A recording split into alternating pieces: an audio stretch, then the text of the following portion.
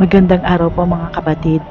Ngayon po ay nandito kami sa loob ng boarding ramp ng airport at papasok po kami sa loob ng airplane. For today's video, pag-uusapan po natin ang isang bahagi ng buhay sa airport, ang special assistance. Ito ay binibigay sa mga travelers na may mga kapansanan. Humingi kami ng special assistance para maging convenient ang asawa ko habang nasa airport. Dahil walang moving broker ang airport Toulouse, Gayunpaman, hindi alam ng lahat na umiiral ang mga serbisyong ito sa airport.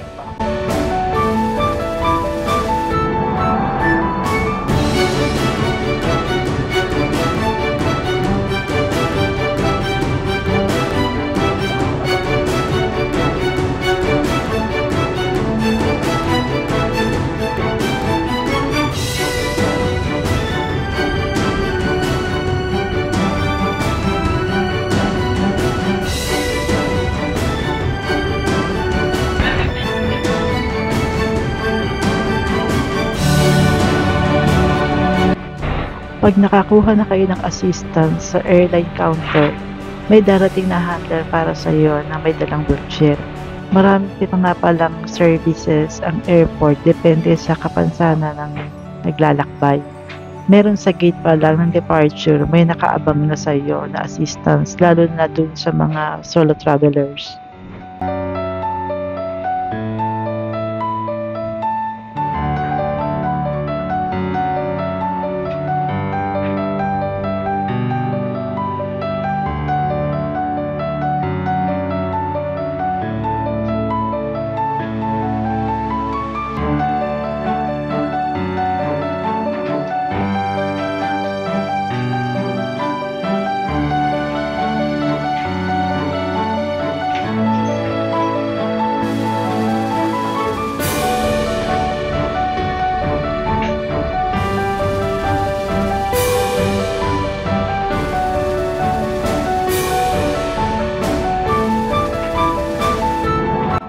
Papasok na kami sa eroplano.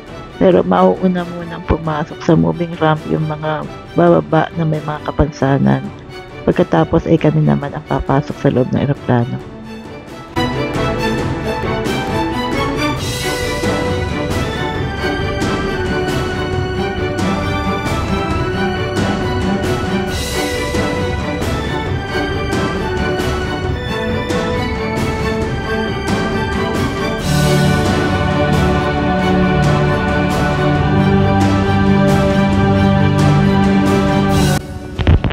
Pagkuha ng special assistance, makipag-ugnayan ng maaga sa kinauukulang airline na binilhan niyo ng ticket bago umalis ng bahay. Ipaalam sa kanila ang kailangang tulong lalo na kung solo kayong bumabiyahe.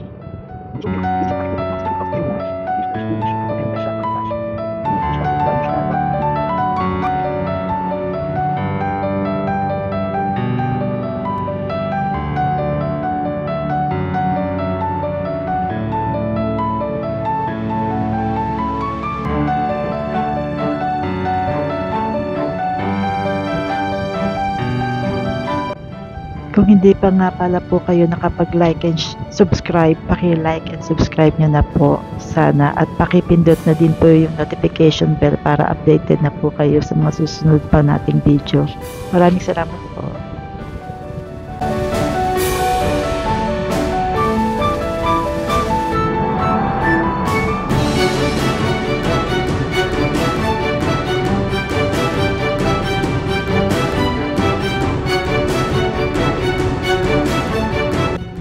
Pababa na kami sa Porto Airport.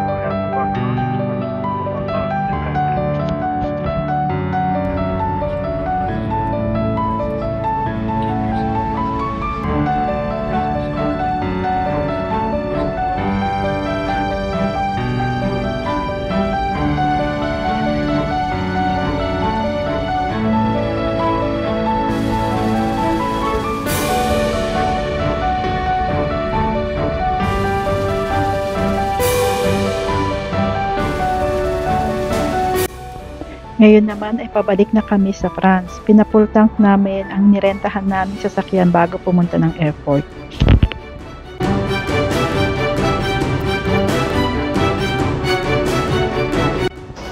Nandito na kami sa Special Assistant Lounge sa Porto Airport. Sa experience namin, nung nakakuha na kami ng wheelchair, dinala kami sa Special Assistant Lounge. Doon kami nag-intay hanggang sa magbukas ang gate. Kasama namin ang aming special handler mula sa immigration, security check. Meron nga palang sariling security check ang at ang mga special assistants. Kasama namin ang handler all the way hanggang sa pintuan ng seat. Na-delayed ang flight namin ng mahigit isang oras kaya ginabi safety na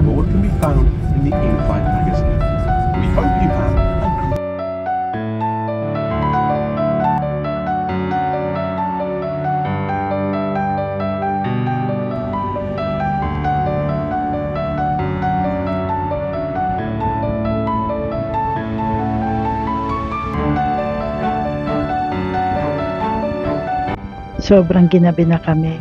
Yan po ang view ng Toulouse paggabi. Malapit na po kami sa airport.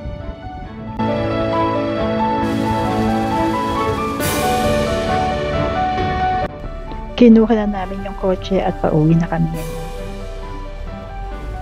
Maraming salamat po ulit sa pagsama niyo sa akin. Hanggang sa mga susunod na video po. God bless.